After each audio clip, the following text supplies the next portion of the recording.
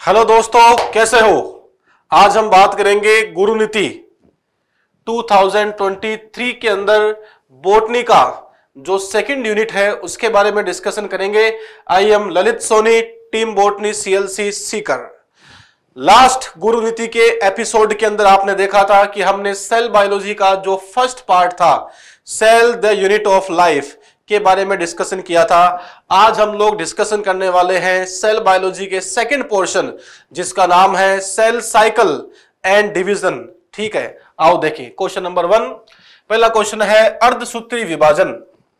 पहले क्वेश्चन की बात अपन इसमें करेंगे, और पहला क्वेश्चन जो है, ये अपने पास में है।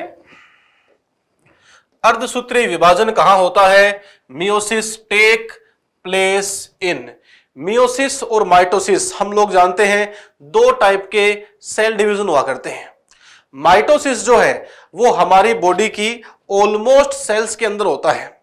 जब हमारी बॉडी के अंदर ग्रोथ होती है, जब हमारी बॉडी के अंदर रिपेयरिंग होती है, वृद्धि होती है, मरम्मत होती है, उस टाइम पर होने वाला जो विभाजन है, जो डिवीज़न है, वो कौन सा होगा?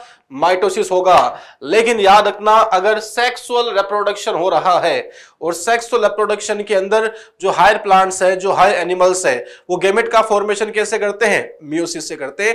तो वो सेल जो मियोसिस करे, उसे क्या कहा जाएगा? उसे कहा जाएगा मियोसाइट याद रखना मियोसाइट कौन है? मियोसाइट है गैमिट मदर सेल और याद रखना मियोसाइट हमेशा टू वन होता है। मियोसाइट इज़ ऑलवेज डिप्लॉइड तो मियोसाइट कौन है? Meiocyte is a cell which represent meiosis तो अपन कह सकते हैं कि बताओ मियोसिस किसमें होगा? क्या गेम्यूल में होगा? मेगास्पोर में होगा? मेगास्पोर मदर सेल होता। तो हम इसका आंसर ये कर सकते थे, पर मेगास्पोर तो मियोसिस के बाद बनता है। तो हम कह सकते हैं कि जो मियोसाइट है, मियोसाइट का मतलब होता है मियो प्लस साइट मियो का मतलब होता है मियोसिस और साइट का मतलब क्या होता है? सेल। तो वो सेल जो मियोसिस करे, उसे बच्चों आप लोग क्या कहोगे? मियोसाइट कहेंगे। आगे देखिए इसके बाद में। सेकेंड क्वेश्चन सूत्र युग्मित समजात गुणसूत्रों के युग्म द्वारा बनाए गए सम्मिश्र को क्या कहा जाता है? The complex formed by a pair of synapsed homologous chromosome is called तो याद रखना इस बात के बारे में, जैसे मान लो आपके पास में यू ये बच्चों यहाँ पर एक क्रोमोजोम है, और ये आपके पास में दूसरा क्रोमोजोम है। ये दो क्रोमोजोम जो है, आपस में होमोलोगस क्रोमोजोम है। होमोलोगस क्रोमोजोम वो होते हैं जिनकी स्ट्रक्चर आप बच्चों कह सकते हैं एक जैसी होती है। होमोलोगस स्ट्रक्चर क्या होती है? दोनों क्रोमोजोम की एक जैसी होती है। जैसे मान लो, मैंने ये कह दिया, ये क्रोमोजोम नंबर 21 है। तो बच्चों, इसका होमोलोगस क्रोमोजोम भी कैसा होगा? 21 नंबर क्रोमोजोम होगा। ये कहाँ से आया था?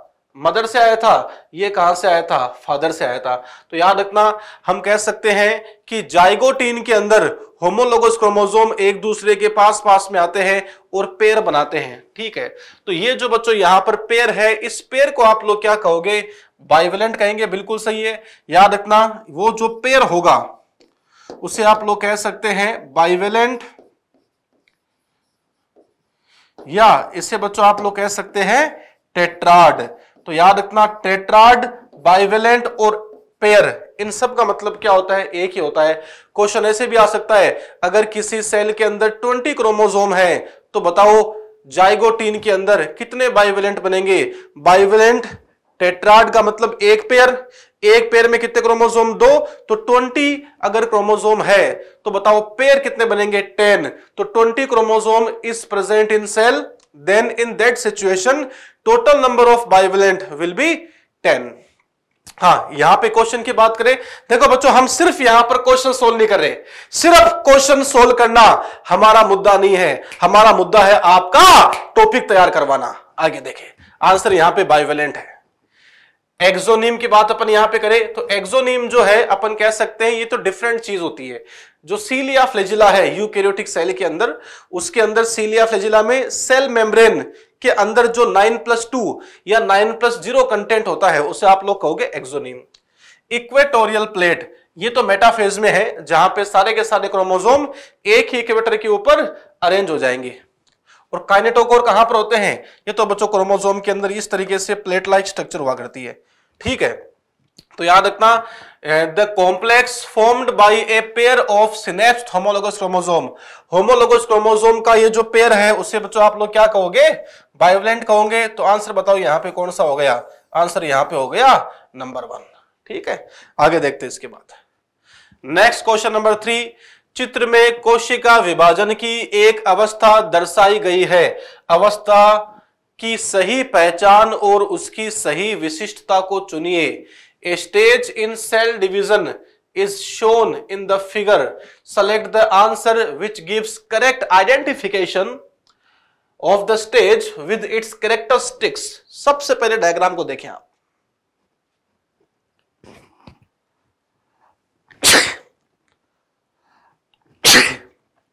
याद रखना, इस डायग्राम के अंदर आप लोग देख रहे हो यहाँ पर इस तरीके से दो न्यूक्लियस है।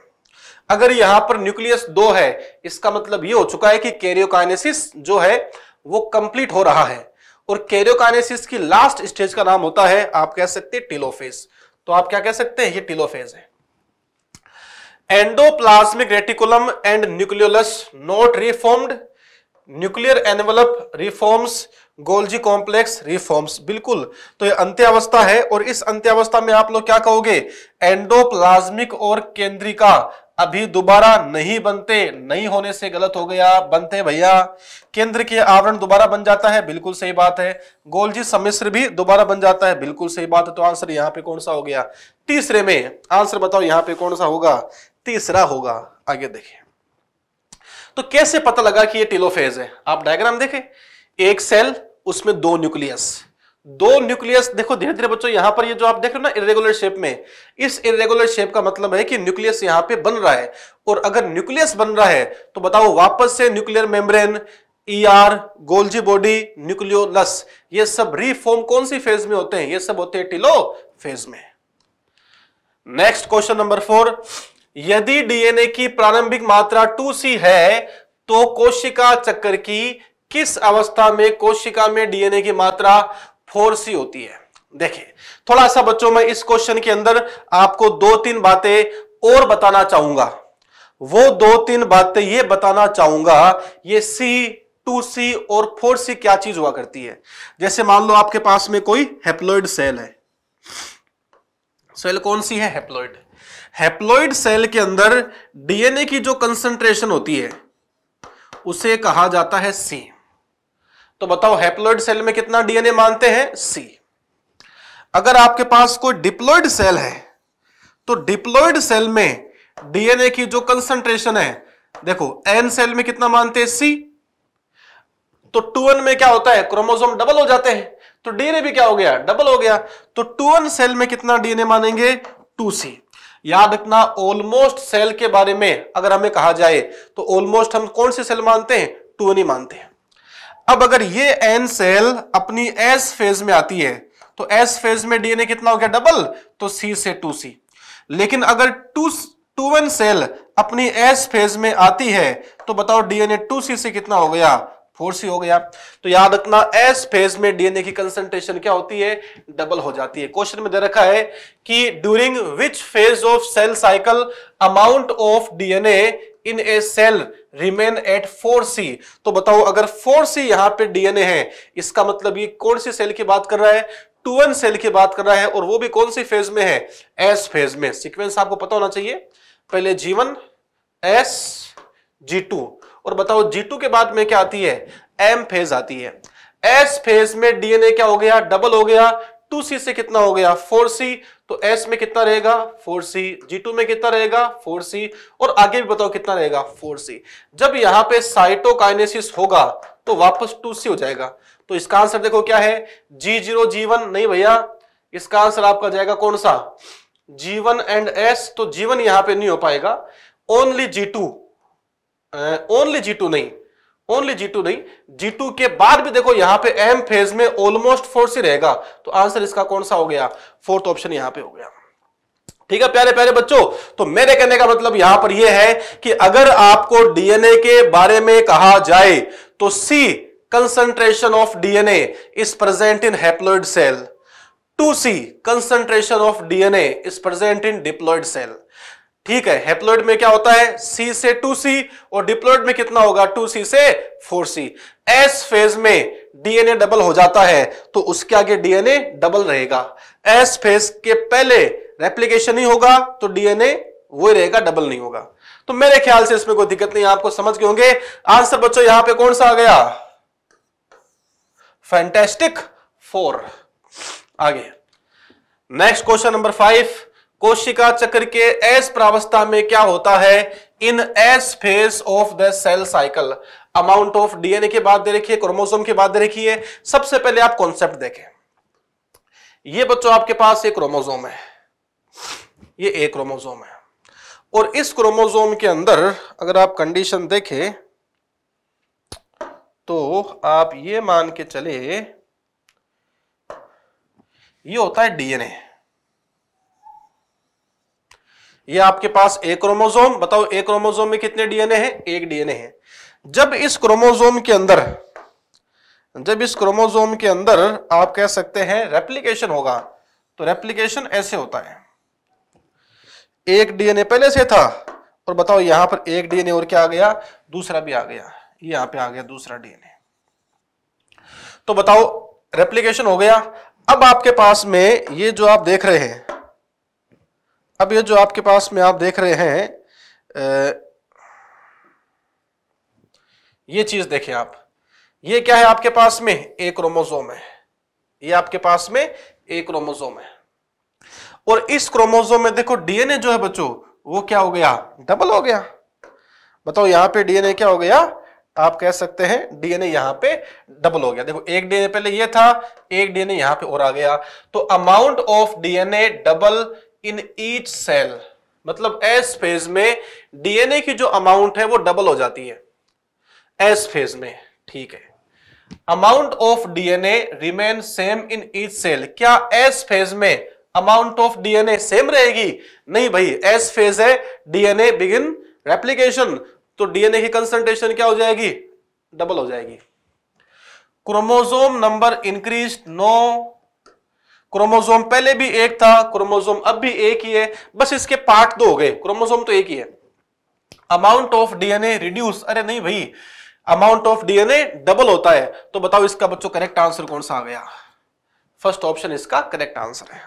आओ आगे देखें। रिकॉम्बिनेस एंजाइम अर्धसूत्री विभाजन की किस अवस्था में आवश्यक है? The enzyme recombinase is required at which phase याद रखना रिकॉम्बिनेस एंजाइम जो होगा this enzyme is responsible for crossing over बताओ, इस एंजाइम का बच्चों फ़ंक्शन क्या है? इस एंजाइम का फ़ंक्शन क्रॉसिंग ओवर है। इस एंजाइम का फ़ंक्शन क्या है? क्रॉसिंग ओवर और बताओ क्रॉसिंग ओवर कौन सी फ़ेज़ में होगा? क्रॉसिंग ओवर होता है पेकाइटिन में।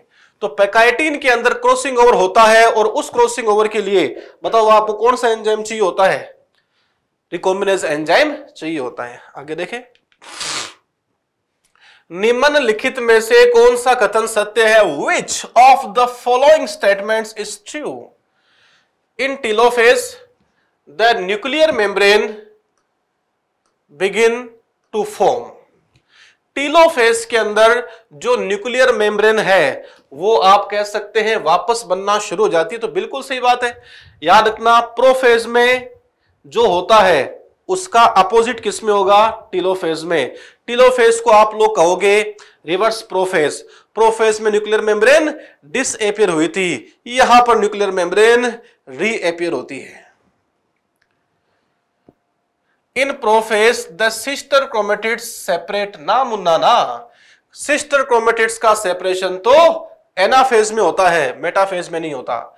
In metaphase the sister chromatids begin condensation metaphase में सिस्टर क्रोमेटिड्स का कंडेंसेशन नहीं होता बिकॉज़ कंडेंसेशन का जो प्रोसेस है, वो तो पूरे क्रोमोजोम में होता है, और कंडेंसेशन तो हो चुका है। कौन सी फ़ेज़ में? प्रोफेज में। प्रोफेज में याद रखना क्रोमेटिन फाइबर से किसका फॉर्मेशन हुआ था? क्रोमोजोम का। तो कंडेंसेशन तो पूरा हो गया। उसके बाद में किस बात का कंडेंसेशन एक बार ही होता है। In anaphase the chromosomes in anaphase the chromosomes move to the spindle equator. Anaphase में क्रोमोसोम जो है, वो आप कह सकते हैं move to spindle equator no no no no no anaphase में क्या होगा? क्रोमोसोम जो वो पोल की तरफ़ जाते हैं. ये मान लो यहाँ पर क्या है? आपके सामने, मान लो यहाँ पर सेंट्रोसोम है.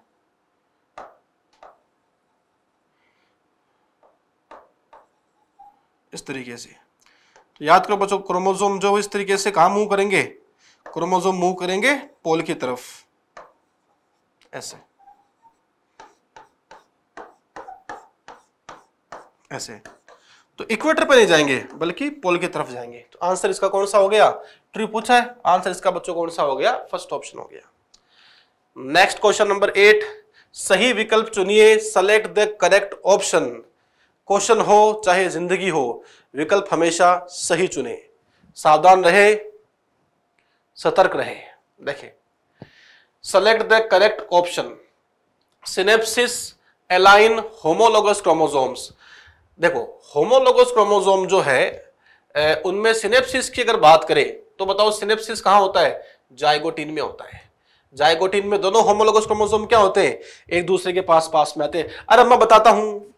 ये होमोलोगस क्रोमोसोम दूर दूर है लेप्टोटीन पास पास में आ गए जाइगोटीन ये होमोलोगस क्रोमोसोम कर क्या रहे हैं आपस के अंदर?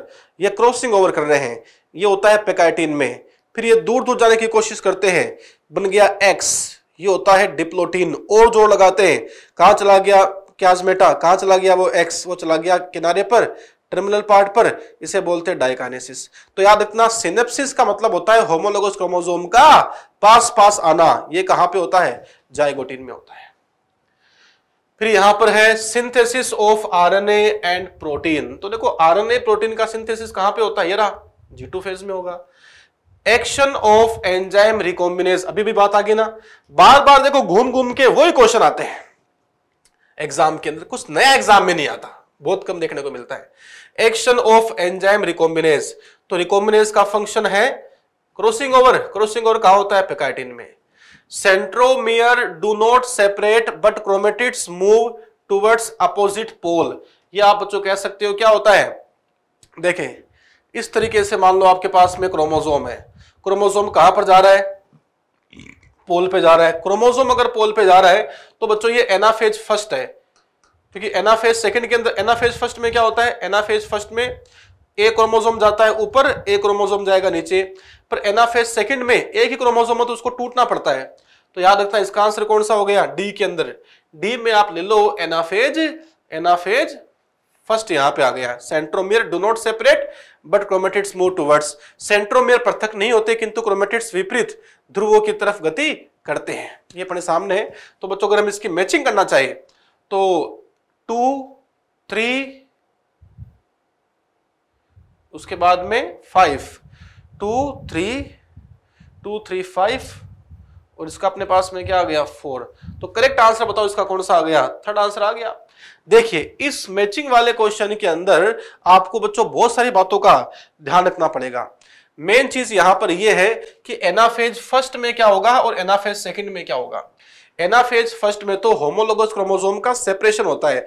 दो क्रोमोजोम जो होमोलोगस है दूर दूर चले जाते हैं। और एनाफेज सेकंड में एक ही क्रोमोसोम में स्प्लिटिंग होती है, जिससे दो क्रोमोसोम बन जाते हैं और वो अपोजिट पोल की तरफ़ जाते हैं। नाइन्थ अर्धसूत्री विभाजन की घटनाओं को सही क्रम में व्यवस्थित कीजिए। Arrange the following events of meiosis in correct sequence crossing over कौन सी फ़ेज़ में होगा? पिकाइटिन में। सिनेप्सिस कौन सी फ़ेज़ में होगा? जाइगोटिन में। टर्मिलाइजेशन कौन सी फ़ेज़ में होगा? डायकाइनेसिस के अंदर होगा। डिसअपियरेंस ऑफ़ न्यूक्लियोलस न्यूक्लियोलस जो है वो डिसअपियर हो गई। तो आप ये कह सकते हो ये कौन सी फ़ेज़ में होगा भैया? ये आपके होगा प्रोफेस के बिल्कुल लास्ट के अंदर। आओ मैचिंग करते हैं। पहले इसमें आएगा जाइगोटिन मतलब बी पहले बी आना चाहिए ये रहा बी बी के बाद में आएगा पेकाइटिन पी ए, मतलब ए तो बी के बाद में आएगा ए ये रहा ए फिर उसके बाद में क्या आएगा? टर्मिनाइजेशन ऑफ़ क्याजमेटा तो आपका इसमें आ गया बी ए सी और डी ठीक है? ये देखो बच्चों, अपने पास में करेक्ट यहाँ पे क्या है? सीक्वेंस है। तो नाइन्थ में, बताओ आंसर आप यहाँ पे क्या दोगे? फोर्थ ऑप्शन दोगे। ये बिल्कुल लास्ट में होता है। समझ गए? ये अपने सामने कंडीशन है। आगे देखें।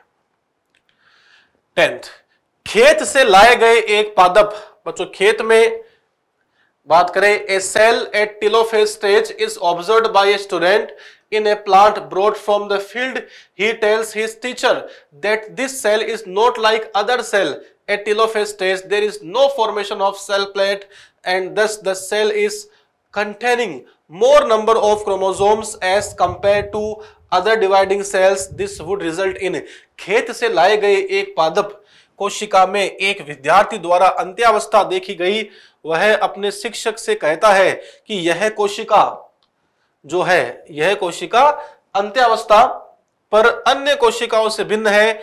इसमें कोशिका प्लेट नहीं बनती और इस कारण कोशिका में अन्य विभाजन वाली कोशिकाओं की अपेक्षा अधिक गुणसूत्र है। इसका परिणाम क्या होगा? सीधी सी बात बच्चों। कैरियोकाइनेसिस हो गया। न्यूक्लियस का डिवीज़न हो गया। उसके बाद में साइटोप्लाज्म का डिवीज़न नहीं हुआ। तो सेल तो रह गई एक और न्यूक्लियस क्या हो गई एक से ज़्यादा। ये जो आपके सामने प्रोसेस आप देख रहे हो इसे बच्चों कहा जाता है पोलीप्लोइडी बहुगुणिता।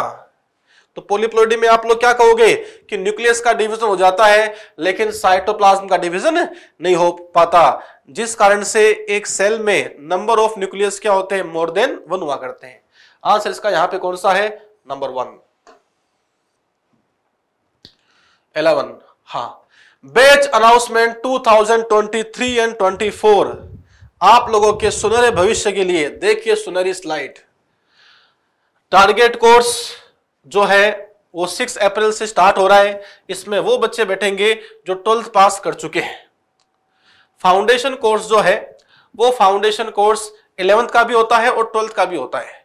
इलेवंथ में इलेवंथ का पढ़ाते हैं ट्वेल्थ में ट्वेल्थ का पढ़ाते हैं। और ये जो है वो फ़र्स्ट बैच स्टार्ट कहा हो रहा है? सिक्स अप्रैल में हो रहा है। टू इन वन सिंगल में डबल का मज़ा। इस बात का मतलब बच्चों ये है, अगर आपने इलेवंथ क्लास के अंदर वो नहीं किया जो आपको करना चाहिए था, या फिर आप सोच रहे हो कि मैं और बेटर कर सकता था, और वो किया जो आपको नहीं करना चाहता था तो आप कह सकते हैं कि हम यहाँ पर ट्वेल्थ क्लास के अंदर आपको एक ही साल में पहले ग्यारहवीं पढ़ाएँगे, बाद में बारहवीं पढ़ाएँगे। आपको इलेवंथ और ट्वेल्थ जो है, उसको पूरा हम क्या करेंगे? टीच करेंगे एक ही साल के अंदर। और टारगेट लेवल तक टच करेंगे। मतलब मान लो आपने इलेवंथ कर लिया और आपके दिमाग में है कि मैं इलेवंथ क्लास में नीट की प्रिपरेशन कर रहा था, लेकिन मैं वो फाइनल टच नहीं दे पाया। कहीं ना कहीं, किसी न किसी मोड़ पे कुछ गलतियाँ रह गई। तो आपके पास एक और लास्ट चांस है। ट्वेल्थ में आप two in one batch join कर सकते हैं। इस टू इन वन बैच के अंदर हम आपको ट्वेल्थ क्लास के अंदर इलेवंथ प्लस ट्वेल्थ दोनों पढ़ाएँगे नीट की प्रिपरेशन के लिए। और आपका सिलेक्शन कोई नहीं रोक सकता। बस मेहनत होनी चाहिए। इसके बाद में प्री फाउंडेशन और एनडीए के बैचेस देखो आपके सामने हैं, ये अपने स्टार्ट हो रहे हैं। तो मेनली देखो अपने पास बैचेस जो छह अप्रैल से स्टार्ट हो रहे हैं।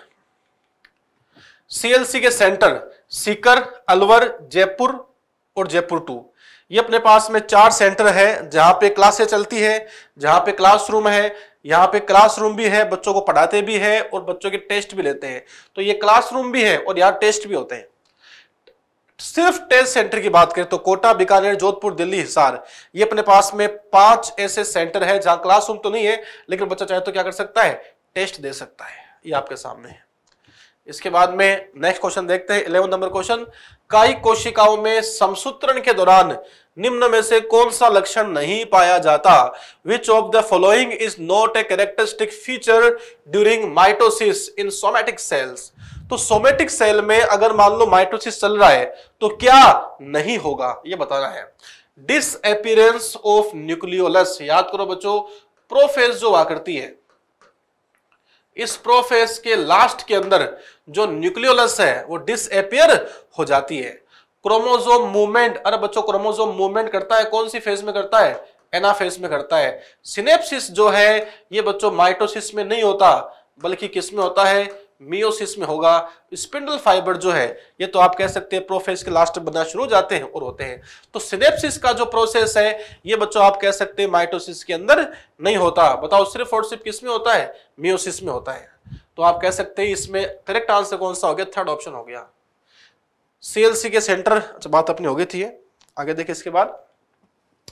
तरकु रूपी तंतु लगते हैं। Spindle fibre attach on to इस तरीके से देखिए आप। ये मान लो बच्चों अपने पास एक क्रोमोजोम आप देख रहे हो। इस क्रोमोजोम के अंदर ये जो अपन देख रहे हैं, इसे कहा जाता है सेंट्रोमियर। इसे क्या कहोगे? सेंट्रोमियर। और सेंट्रोमियर के इस तरफ़ और इस तरफ़, ये देखो आप यहाँ पर प्लेट लाइक स्ट्रक्चर दो देख रहे हैं। इसी का नाम क्या होता है? काइनेटो कोर ये बच्चों आपके सामने क्या है? काइनेटो कोर है। ये क्या है? काइनेटोकोर है। स्पिंडल फाइबर जो होगा, वो स्पिंडल फाइबर आप कह सकते हैं अटैच कहाँ पे होगा? काइनेटोकोर से अटैच होगा। तो बताओ स्पिंडल फाइबर जो है, वो कहाँ अटैच होते हैं? इन दोनों तरफ़ के काइनेटोकोर से अटैच होते हैं। समझ गए? आगे देखें। आगे कंडीशन देखते हैं। नेक्स्ट इसके बाद में है क्वेश्चन नंबर थर्टीन अर्धसूत्री विभाजन में जीन विनिमय किस अवस्था में आरंभ होगा? In meiosis, crossing over, is initiated at. देखो बच्चों, वही क्वेश्चन आ गया, मैंने बताया था आपको। क्रॉसिंग और बताओ कौन सी स्टेज में होगा? अपन कह सकते हैं पेकाइटिन में होगा। बच्चों, याद रखना लेप्टोटीन के अंदर दोनों क्रोमोजोम दूर दूर रहेंगे। दोनों कौन से? जो होमोलोगस है। जाइगोटीन में क्या होगा? दोनों होमोलोगस क्रोमोजोम एक होमोलोगस क्रोमोजोम कौन सा? जो फादर से आया है। दूसरा कौन सा होता है? जो मदर से आता है। ये दोनों होमोलोगस क्रोमोजोम एक दूसरे की तरफ़ टपू टपू पास पास आते हैं और क्या करते हैं? सिनेप्सिस करते हैं। पेकाइटिन में क्या करते हैं? क्रॉसिंग ओवर डिप्लोटिन में क्याजमेटा बनाते हैं और डायकानेसिस में क्या होगा? क्याजमेटा टर्मिनल पार्ट पे चले जाएँगे। इसको बोलते हैं टर्मिनलाइजेशन ऑफ़ क्याजमेटा ठीक है? तो अपने को तो यहाँ क्रॉसिंग ओवर पूछा है। बताओ बच्चों क्रॉसिंग ओवर कहाँ पे होता है? आप कह सकते हैं पेकाइटिन में होता है। समझ गए? ये अपने सामने कंडीशन है। नेक्स्ट तो इसका आंसर कौन सा हो गया अपने पास में? फोर्थ ऑप्शन हो गया। आगे देखें, इसके बाद में देखें, इस क्वेश्चन के अंदर भी आपको क्या पूछा गया है? इस क्वेश्चन के अंदर भी आपको सिंपल फेस का नाम पूछा गया है। क्वेश्चन नंबर फोर्टीन कोशिका वृद्धि के दौरान डीएनए का संश्लेषण किस अवस्था में होता है? During cell growth DNA synthesis बच्चों, याद रखना, डीएनए सिंथेसिस का पूछा है। डीएनए का संश्लेषण पूछा है। इसको कहा जा सकता है एग्ज़ाम में। रेप्लीकेशन कई बार क्वेश्चन रेप्लीकेशन के नाम से आता है। तो बताओ, डीएनए का संश्लेषण मतलब रेप्लीकेशन कौन सी अवस्था में होता है? आप कह सकते हैं, ऐस अवस्था में होता है। क्वेश्चन नंबर 15 कॉलम वन में दी गई अड़सूत्री विभाजन की विभिन्न अवस्थाओं का कॉलम टू में दिए गए उनके विशिष्ट लक्षणों के साथ मिलान कीजिए तथा नीचे दिए गए कूट का प्रयोग कर सही विकल्प का चयन कीजिए। Match the stage of meiosis in column first to their characteristic feature in column second and select the correct option using the codes given below तो देखो आपके सामने कॉलम फ़र्स्ट भी है और कॉलम सेकंड भी है। पेयरिंग ऑफ़ होमोलोगस क्रोमोजोम वही बात, पहले बात की थी, अरे भैया जोड़ा बनना। हालाँकि जोड़ा तो नसीबों से बनता है, पर बनता कहाँ पर है? जायगोटीन के अंदर। मैं किस जोड़े की बात कर रहा हूँ क्रोमोजोम के जोड़े की बात कर रहा हूँ भावुक ना हो, आगे देखें। तो पेयरिंग ऑफ़ होमोलोगस क्रोमोसोम कहा होता है? ये आप कह सकते हैं, जायगोटीन में। टर्मिनलाइजेशन ऑफ़ क्याजमेटा कहाँ होता है? अभी बात की थी डाइकाइनेसिस में होगा। क्रॉसिंग ओवर क्रॉसिंग ओवर का मतलब जानते हैं? दोनों क्रोमोसोम का एक दूसरे के ऊपर चढ़ जाना। बताओ क्रोमोसोम ऊपर क्यों चढ़ते हैं? एक्चुअली इसको बोलते हैं ओवरलैपिंग करना। ओवरलैपिंग क्यों होती है? ताकि वो एक्सचेंज कर सके।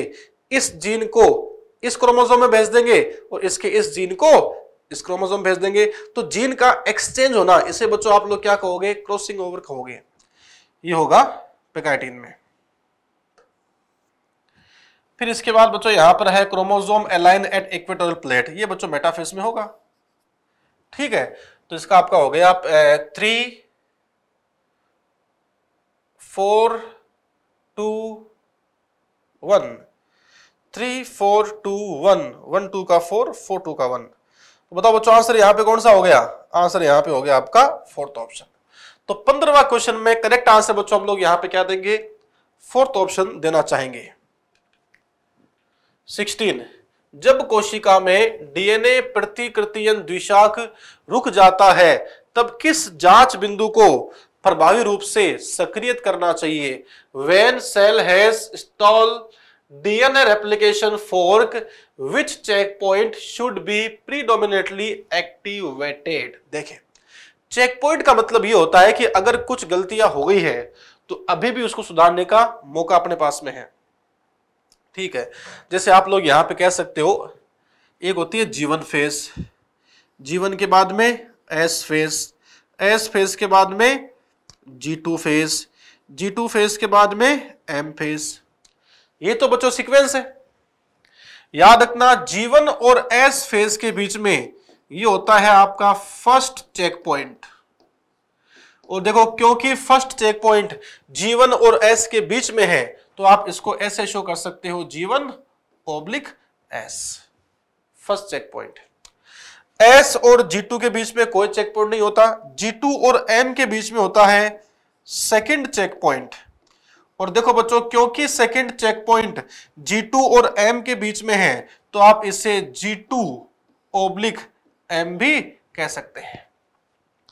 So second check point is present between G2 and M phase so we can say it G2 oblique M check point ठीक है, अब मान लो जीवन में अगर कोई काम नहीं हुआ, अगर आपको ये कह दिया जाए, मान लो कि जीवन में अगर मान लो बच्चों कोई काम नहीं हुआ तो उसका पता कहाँ लगाएगा? फ़र्स्ट चेक पॉइंट में। अगर इसको जीवन से एस में जाना है तो फ़र्स्ट चेक पॉइंट को पास करना पड़ेगा। पर अगर मान लो कोई काम एस फ़ेज़ में नहीं हुआ तो एस फ़ेज़ में काम नहीं होने पर वो जी टू फ़ेज़ में जा सकती है, क्योंकि इनके बीच में कोई चेक करने वाला नहीं है। पर जी टू से जब वो एम में जाएगी तो इसको सेकंड चेक पॉइंट क्रॉस करना पड़ेगा। तो सेकंड चेक पॉइंट के अंदर क्या होगा? एस में होने वाले काम और G2 में होने वाले काम। S के सारे फ़ंक्शंस और G2 के सारे फ़ंक्शंस जो है, उनको रिकॉग्नाइज किया जाएगा। तो अपन कह सकते हैं कि अगर मान लो S फ़ेज़ में रेप्लीकेशन देखो रेप्लीकेशन फोर का मतलब यहाँ पर यह है कि जब डीएनए का रेप्लीकेशन होगा तो उसकी दोनों चेन इस तरीके से, आप कह सकते हैं अनवाइंड हो जाती है, खुल जाती है। यू इस तरीके से। ठीक है। तो देखो, यहाँ पर रेप्लीकेशन फोर्क बन गया। रेप्लीकेशन फोर्क कब बनता है? जब रेप्लीकेशन करना है। रेप्लीकेशन कौन सी फ़ेज़ में होगा? एस फ़ेज़ में होगा। अगर एस फ़ेज़ में रेप्लीकेशन फोर्क नहीं बना रेप्लीकेशन फोर्क नहीं बना तो रेप्लीकेशन भी नहीं हुआ। इसका मतलब इसका पता कब लगेगा? फ़र्स्ट चेक पॉइंट में सेकंड चेक पॉइंट में। सेकंड चेक पॉइंट में, बताओ नाम क्या है इसका? जी टू ओब्लिक एम तो इसका आंसर कौन सा हो गया आपका? फ़र्स्ट हो गया। समझ गए? तो बच्चों 16 में हम यहाँ बताओ करेक्ट आंसर क्या देंगे? फ़र्स्ट ऑप्शन देंगे। इसके बाद नेक्स्ट आगे बात करते हैं।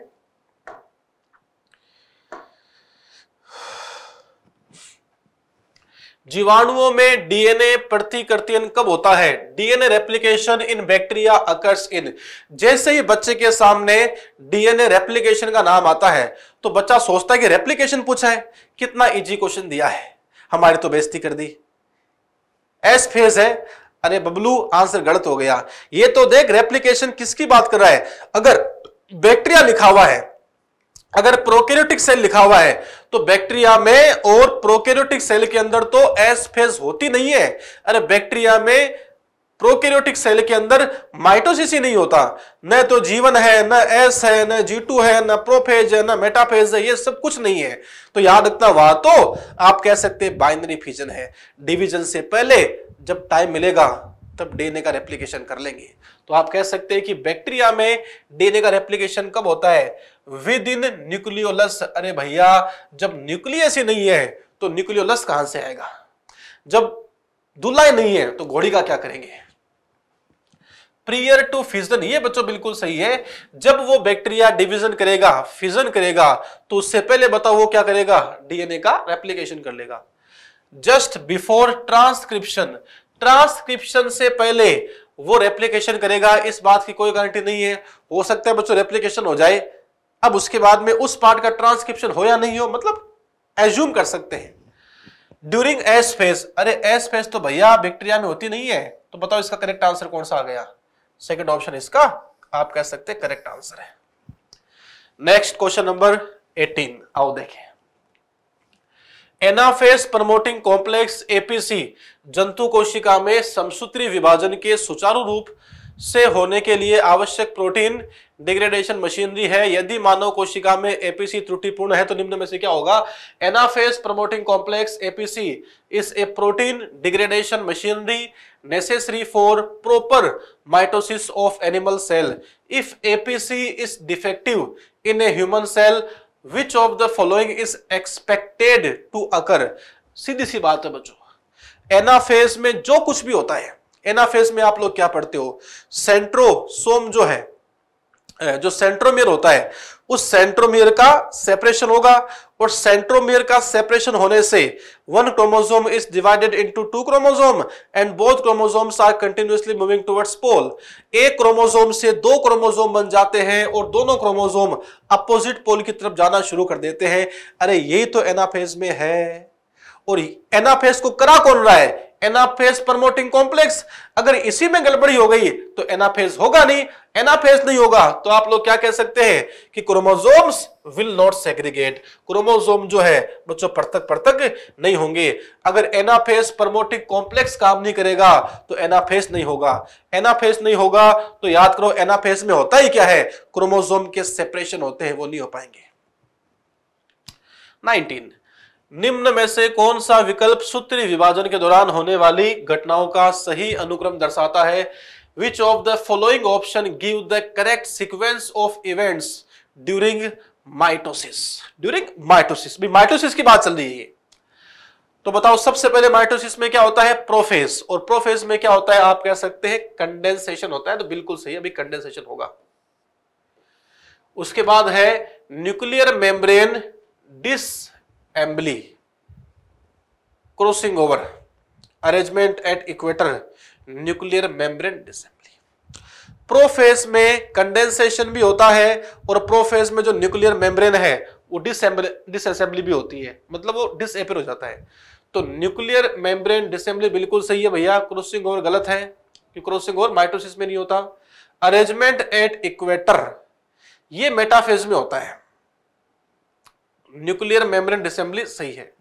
क्रॉसिंग ओवर नहीं होगा। Centromere division.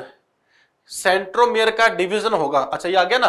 Arrangement at equator ये कहाँ पे आ गया? मेटाफेज में। ये दो किसके हैं? प्रोफेज के। सेंट्रोमियर का डिवीज़न एनाफेज में आ गया। सेग्रीगेशन एनाफेज में आ गया। उसके बाद टिलोफेज आ गया। आंसर बच्चों, यहाँ पे कौन सा हो गया? फ़र्स्ट ऑप्शन हो गया। यहाँ देखें आप थर्ड ऑप्शन में ये प्रोफेज है। प्रोफेज के बाद में क्या है? मेटाफेज है। सेंट्रोमियर डिवीज़न एनाफेज है। ये एनाफेज है। ये टिलोफेज है। लेकिन देखो बच्चों, यहाँ पर एक पॉइंट कम है कौन सा? न्यूक्लियर मेम्ब्रेन डिसेंबली तो आप बताओ आंसर यहाँ पे कौन सा करोगे? 19 क्वेश्चन नंबर के अंदर वन आप इसका आंसर दे दोगे। क्वेश्चन नंबर ट्वेंटी युग्मित समझात गुणसूत्रों का पृथकरण किस अवस्था में आरंभ होगा? The stage during which separation of the paired homologous chromosome begins तो देखो, पहले बात की थी ना अपन ने, कि होमोलोगस क्रोमोजोम जो है, उनका पृथककरण, उनका जो सेग्रीगेशन है, वो स्टार्ट कौन सी फ़ेज़ में होगा? तो आप कह सकते हैं डिप्लोटीन भी में तो क्या होगा? क्रॉसिंग और होगा। और क्रॉसिंग ओवर तो हो गया। अरे भाई, जिस काम के लिए पास पास आए थे, वो तो हो गया। अब दूर दूर जाना ही पड़ेगा। तो डिप्लोटिन में क्या होगा? दोनों क्रोमोसोम दूर दूर जाएँगे और उससे फिर क्या होगा? आप कह सकते हैं इस तरीके से एक्स लाइक स्ट्रक्चर बन जाएगी। आप कह सकते हैं क्याजमेटा बन जाएगा डिप्लोटिन में। तो दूर दूर जाने की जो बच्चों प्रोसेस है, वो स्टार्ट कब होती है? आप कह सकते हैं डिप्लोटिन में। करेक्ट आंसर कौन सा हो गया? थर्ड ऑप्शन ट्वेंटी गलत मिलान का चयन कीजिए। सेलेक्ट द इनकरेक्ट मैच सब मेटासेंट्रिक क्रोमोजोम बिल्कुल आप कह सकते हैं कि सब मेटासेंट्रिक एल शेप ही होता है। सब मेटासेंट्रिक में क्या होता है? एक आर्म कैसी होती है इसकी लॉन्ग एक आर्म कैसी होती है? शॉर्ट तो बताओ एनाफेज में ये किस तरीके से हो जाएगी? ऐसे, ऐसे। देखो एल बन गया। इसके बाद यहाँ पे है polytene chromosome site of amphibians. Polytene chromosome ये बच्चों आपके पास में एक जायंट क्रोमोजोम है। अगर आप कंडीशन देखिए इसके अंदर तो आप कह सकते हैं कि पोलिटीन क्रोमोजोम जो है, वो एम्फीबियंस में बच्चों नहीं हुआ करते हैं। उस साइट में नहीं होते, ये बच्चों सलाइवी ग्लैंड में होते हैं इंसेक्ट में हुआ करते हैं। एलोसोम सेक्स क्रोमोजोम को बोलते हैं लेम्ब्रेस क्रोमोजोम डिप्लोटीन फ़ेज़ में के अंदर बनते हैं और बायोवेलेंट के फॉर्म में है। तो बच्चों, गलत आपको यहाँ पूछा है तो बताओ 21 में आप आंसर क्या दोगे इसका? 21 में आप इसका आंसर दोगे? सेकंड ऑप्शन ठीक है। बच्चों पोलिटिन क्रोमोजोम और लैम्बस क्रोमोजोम दोनों को कहा जाता है जायंट क्रोमोजोम ये काफ़ी लार्ज साइज़ के क्रोमोजोम हुआ करते हैं। तो आप कह सकते हैं कि ये क्या है? कि बच्चों, आपके सामने लार्ज साइज़ के क्रोमोजोम है, ये जायंट क्रोमोजोम है, ये थोड़ा सा बच्चों एनसीईआरटी के बाहर एक मैटर है, लेकिन इतना बच्चों को क्लास में कन्वे करते हैं अपन। आओ आगे देखें। एग्ज़ाम में आ चुका है 18 में। 22 एक उप मध्य की गुणसूत्र की छोटी और बड़ी भुजाओं को क्या कहेंगे बच्चों? वही बात, सब मेटासेंट्रिक है, एक ऐसी होती है लॉन्ग एक बच्चों, यहाँ पर कैसी होती है। आप कह सकते हो स्मॉल तो छोटी है और बड़ी है। देखो बच्चों क्वेश्चन की खास बात क्या है? पहले आपको छोटी पूछ ली, और बाद में क्या पूछी आपको इसके अंदर? बड़ी पूछिए। तो छोटी वाले को क्या कहेंगे? पी। बड़ी को आप लोग क्या कहोगे? क्यों कहोगे? तो आंसर इसका कौन सा हो गया? छोटी को पी कहेंगे, बड़ी को क्यों कहेंगे? तो आंसर बच्चों इसका हो गया ये लो चौथा आंसर है। तो बताओ ट्वेंटी टू में इसका आंसर कौन सा हो गया? फोर्थ ऑप्शन हो गया। नेक्स्ट इसके बाद में, याद रखना बच्चों शॉर्ट को पी बोलते हैं, और लॉन्गर को क्यों कहते हैं? 23 कोशिका चक्रण की अवस्थाओं का सही क्रम बताओ। The correct sequence of phases of cell cycle बच्चों जानते हैं?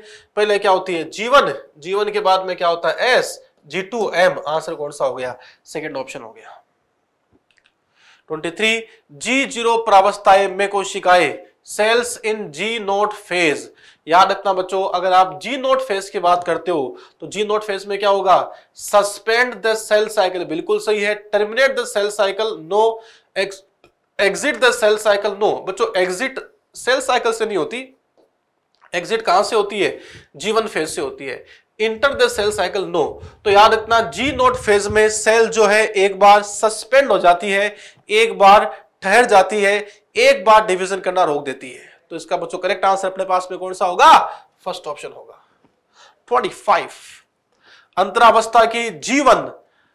प्रावस्था के बारे में सही कथन का चयन करो। Identify the correct statement with regard to G one phase gap one phase of interphase cell is metabolically active grow but does not replicate its DNA बिल्कुल सही है भाई।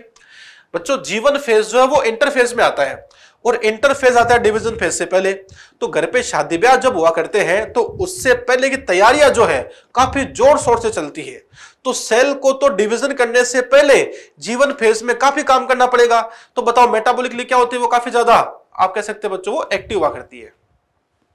लेकिन इसका रेप्लीकेशन नहीं होगा डीएनए का, क्योंकि वो तो कौन सी फ़ेज़ में होगा? एस फ़ेज़ में होगा। न्यूक्लियर डिवीज़न टेक प्लेस नहीं भाई न्यूक्लियस का बच्चों यहाँ पे डिवीज़न नहीं होगा, वो तो टेलोफेज में पूरा होगा। डीएनए सिंथेसिस और replication no take place no S phase में होगा।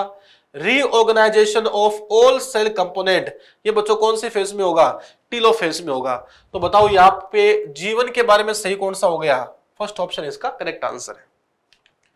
26 कुछ विभाजित हो रही कोशिकाएँ, कोशिका चक्रण से बाहर। देखो बच्चों सेम टू सेम वही क्वेश्चन अगली साल फिर से आ गया।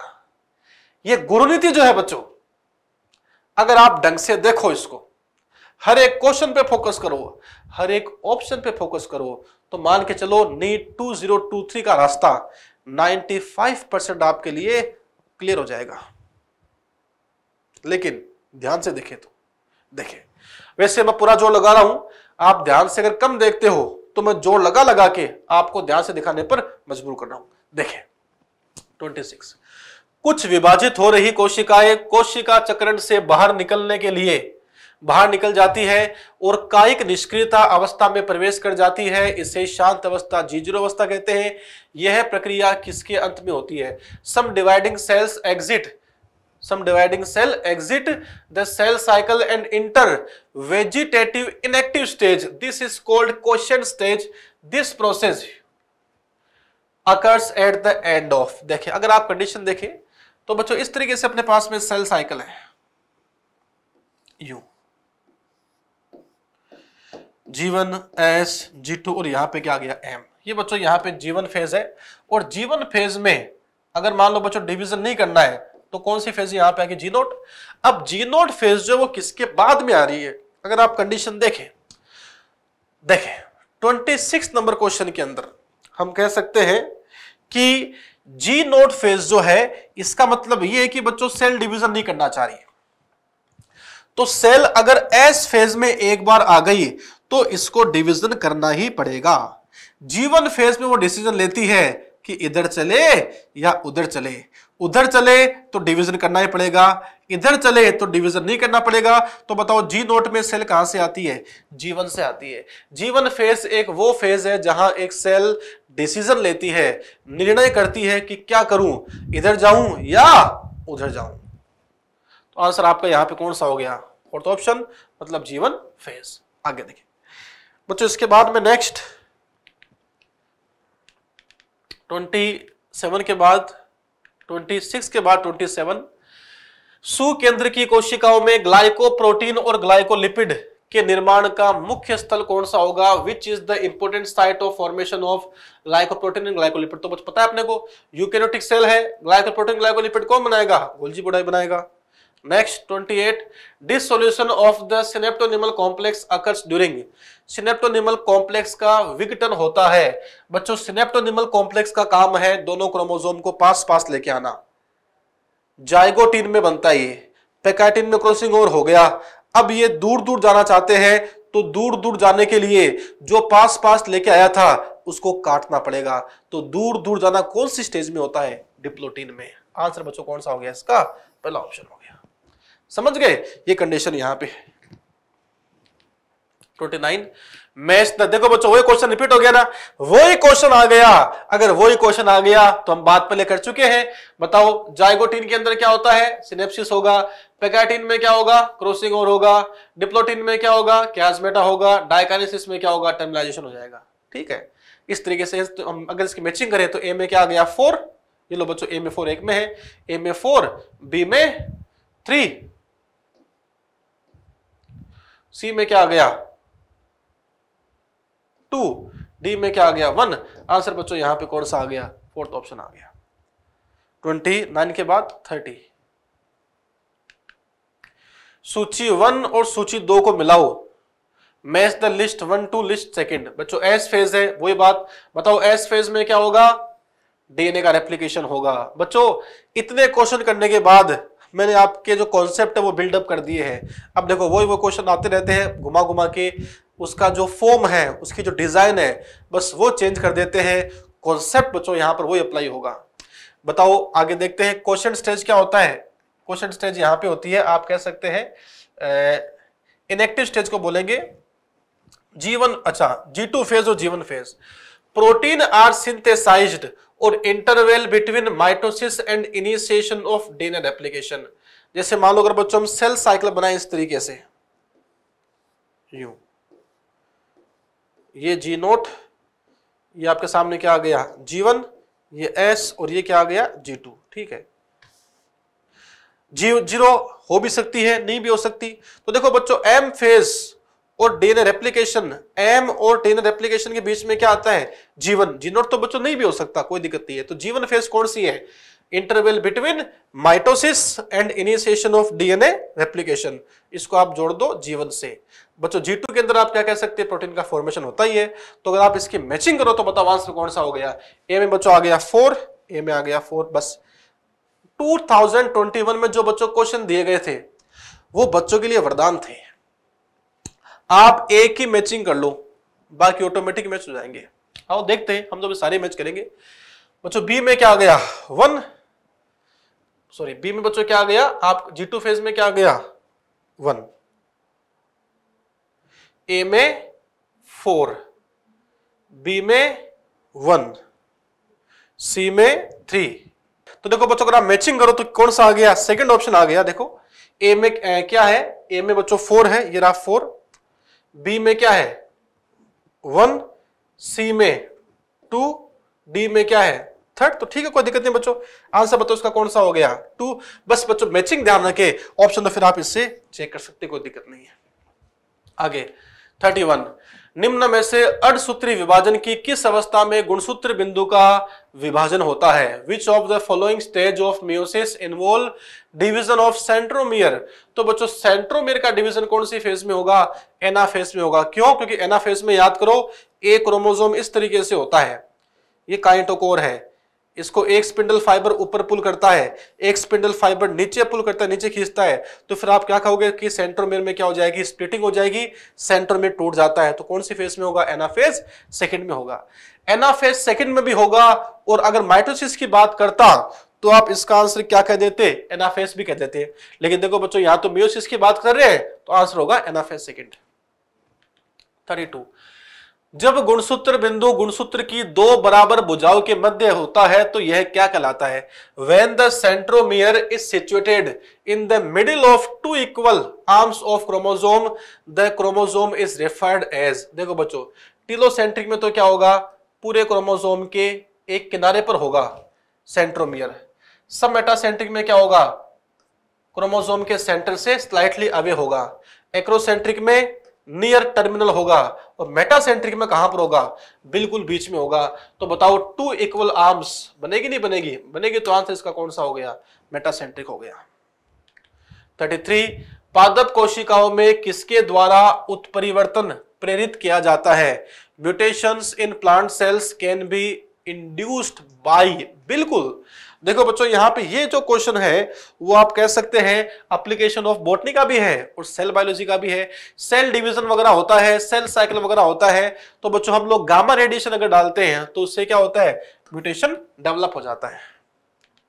थर्टी फोर अर्धसूत्री विभाजन के विषय में कौन सा कथन गलत है? Regarding meiosis which of the following statement is incorrect DNA replication occurs in S phase of meiosis second meiosis second के एस फ़ेज़ में डीएनए का रेप्लिकेशन होता है। गलत स्टेटमेंट बच्चों, एस फ़ेज़ तो मियोसिस फ़र्स्ट में होता है। मियोसिस सेकंड में कोई एस फ़ेज़ नहीं हुआ करता। Pairing of homologous chromosomes and recombination occurs in meiosis first बिल्कुल सही है। पेयरिंग कहाँ पे होती है? जाइगोटीन में। और रिकॉम्बिनेशन कहाँ होता है आप कह सकते हैं पेकाइटिन में। Four haploid cells are formed at the time of meiosis second बिल्कुल सही है। There are two stage in meiosis first and second तो बताओ बच्चों इसका इनकरेक्ट आपको पूछा गया था। आंसर बताओ कौन सा हो गया इसका? आंसर इसका हो गया first option 35 which one of the following never occurs during mitotic cell division निम्न में से कौन सी घटना सूत्री विभाजन के दौरान कभी नहीं हुआ करती?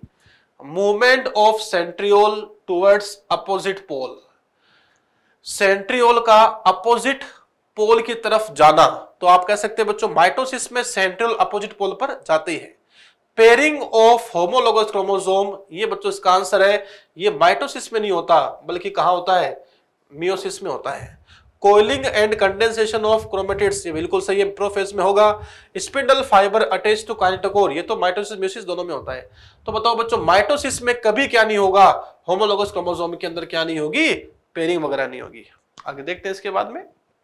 36 the appearance of recombination nodule on homologous chromosomes during meiosis characterize अर्धसूत्री विभाजन के दौरान समजात गुणसूत्रों पर पुनर्योग पुनर्योगजन ग्रंथिकाओं का बनना किसे अभिलक्षित करता है?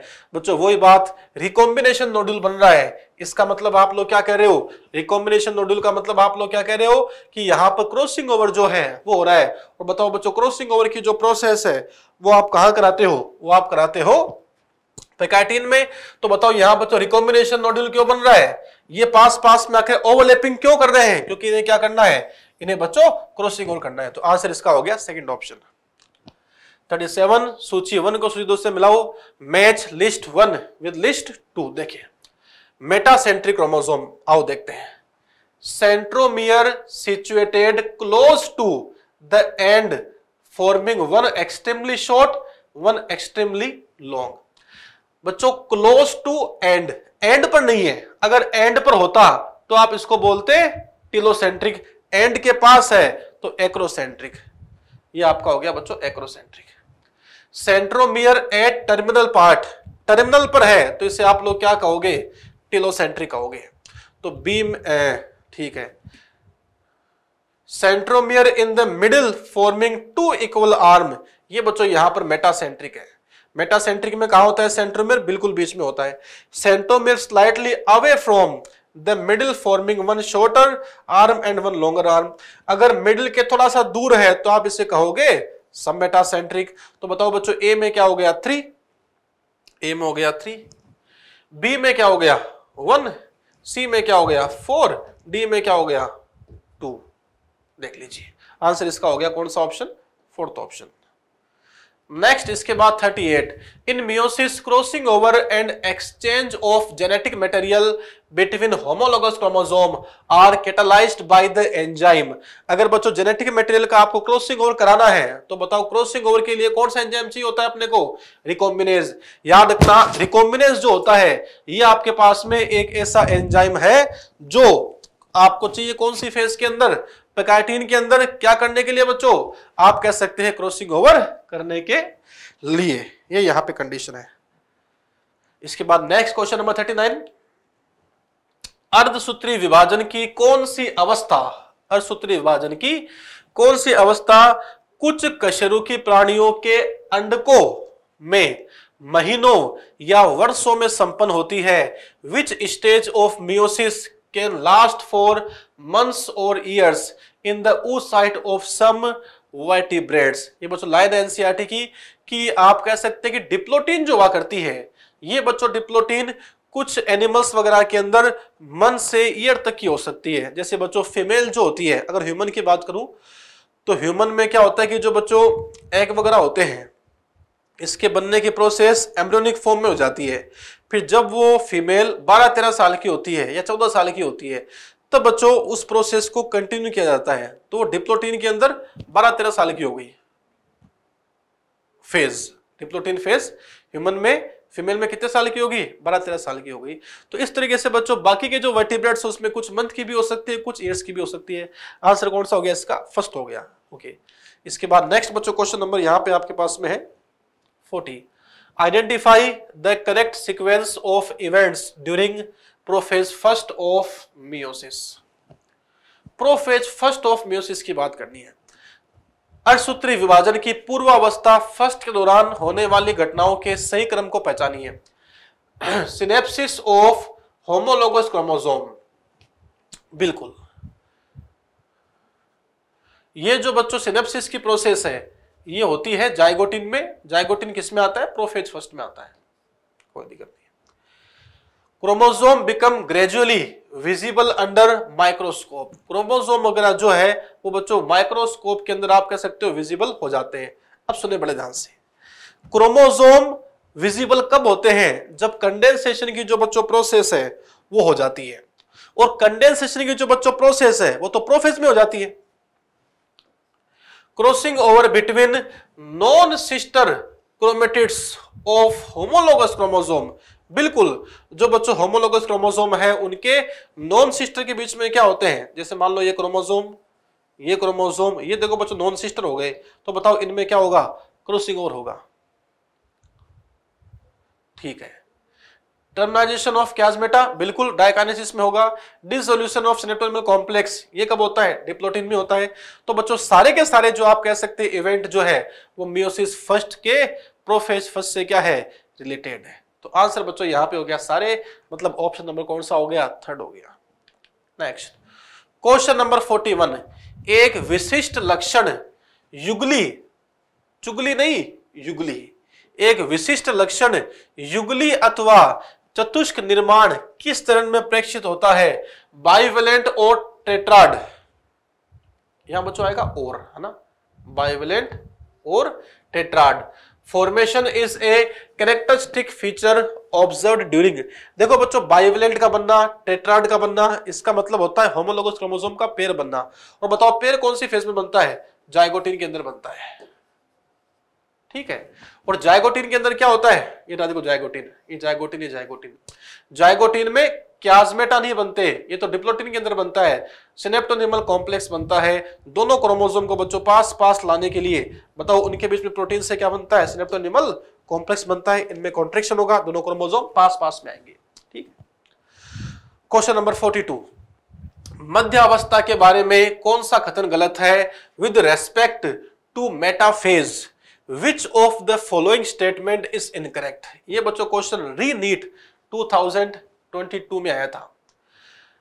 With respect to metaphase which is incorrect metaphase chromosome are made up of four sister chromatids held together by centromere बच्चों मेटाफेज में क्रोमोजोम ऐसा होता है।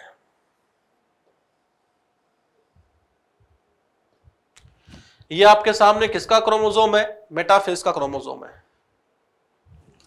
और मेटाफेज में जो क्रोमोजोम आप देख रहे हो, ये क्रोमोजोम ए क्रोमेटिड ये रहा, ए क्रोमेटिड ये रहा। बताओ कितने क्रोमेटिड से बनता है? दो से बनता है।